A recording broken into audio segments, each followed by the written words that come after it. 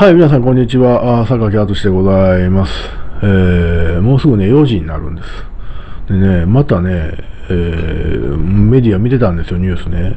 そしたらね、また日経新聞でね、こんなん見つけてしまいましたよ。えー、今日のね、14時46分ですから、今から2時間ぐらい前、じゃあ1時間前ですか。1時間前に、バイデン氏が安保条約5条に言及した意味、日米電話協議というタイトルですね、日経新聞。えー、読んでいきますね。菅義偉首相は12日、えー、米大統領選挙で、えー、当選を確実にした民主党のバイデン副大統領と初めて、えー、電話協議した。米国の日本防衛義務を定めた日米安保条約5条を沖縄県尖閣諸島に適用されるとバイデン氏は明言した。尖閣諸島への適用を米国大統領が初めて明言したのは2014年。バイデン氏が副大統領として仕えたオバマ氏が初めてだった。対中国政策の連携は、まず安保の大原則の確認からスタートした。まだ続くんですよ、これ。ちょっと意味があるんで読んでいきましょうね。日本側の説明によると、安保条約5条に関する発言は、バイデン氏が切り出したもので、尖閣という名前の言及もあった。米側の発表でも、5条、括弧、アーティ、え？アーティクル、アーティクル5、ね、V という字書いてますけど、アーティクル5と明記された。米大統領の当確が出た段階でのバイデン氏の言明は異例の速さとなる。で、政権交代しても中国への圧力を緩めないとの国際社会へのメッセージとなった。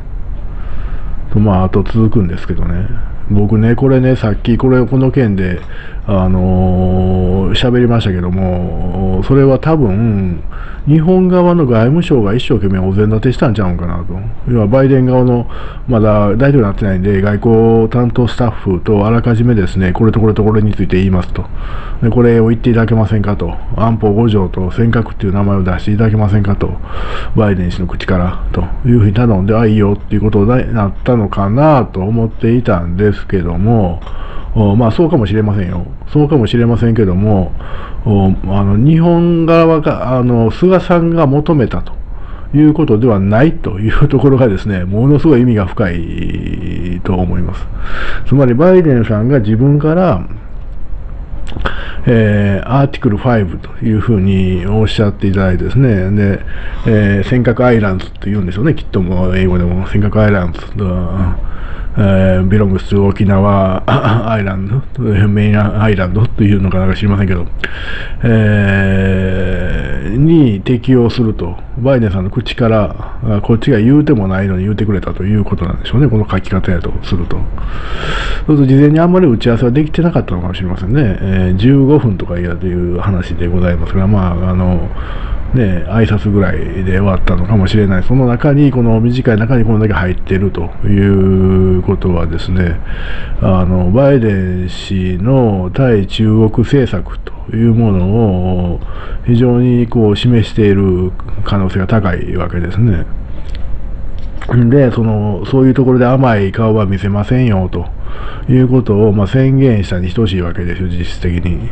で、これは多分このニュース、今もすぐにですね、中国の方に行ってると思うんですけども、かなり衝撃を持ってですね、受け取られているんちゃうんかなという気はいたしますね。あのー、向こうは向こうでね、自分たちの領土やというふうに主張しています。えー、主張しています。で、こっちは日本は領土問題はないと、明快に日本領土であると。言ってて、でそれにアメリカが日米安全保障条約第5条の適用範囲内であるということをわざわざ確認をしたわけですね、アメリカのトップが。えー、ということはですね、こう、攻めてきたら一緒に守んでということなんですね。でとすると、中国からするとですね、尖閣に手を出す、アーミー的に手を出すという状態は、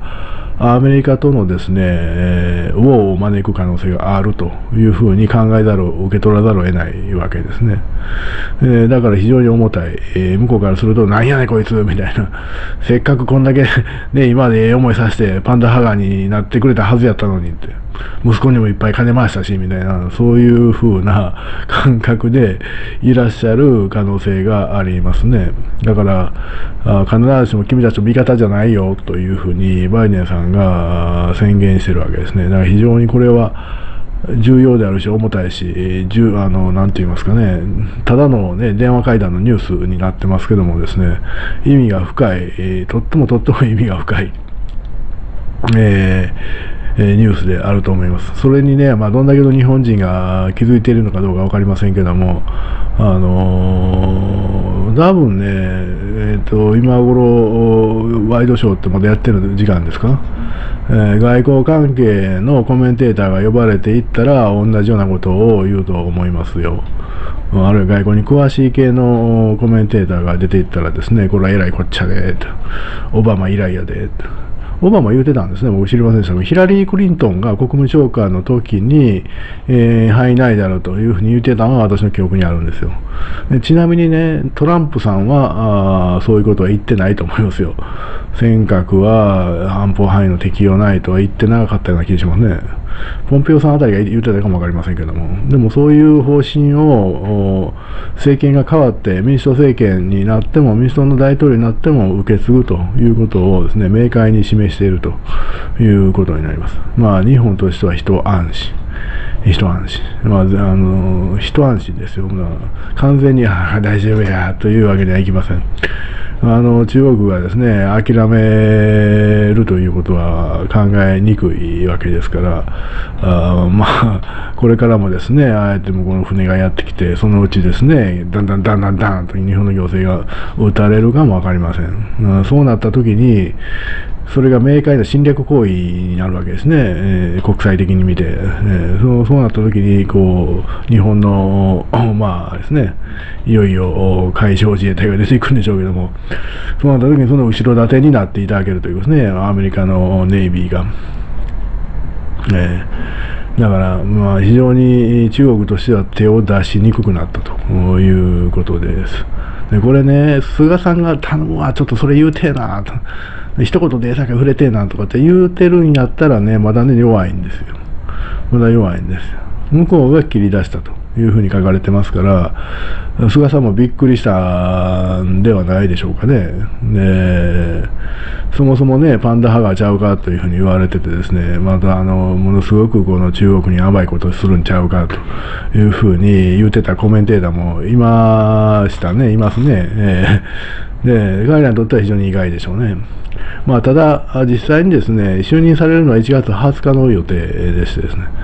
で、次期大統領予定とはいえですね、まだ99%ですね、私は。1%トランプさんが何らかの方法を使って盛り返してですね、第2期目やでっていう可能性がですね、ゼロにはなってないと今思ってますんで、まあ、そういう前提でお話をしているんですけどね。